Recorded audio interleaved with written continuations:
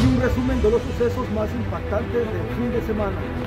El cuerpo de un hombre fue localizado al interior de una vivienda en los cruces de la calle San Isidro, al cruce con la calle Santa Rita, en la colonia Nueva Santa María del municipio de Tlaquepaque.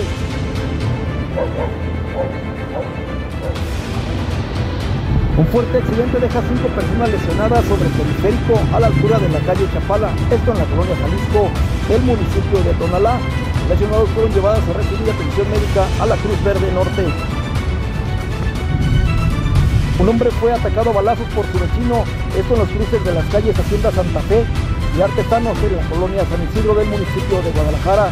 La Fiscalía del Estado ya trabaja en la carpeta de investigación.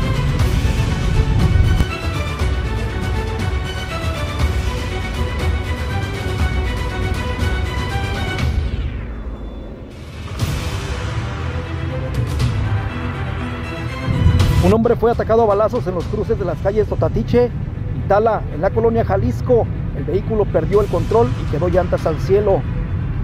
Imágenes y voz informativa para AMG Noticias. Juan Díaz.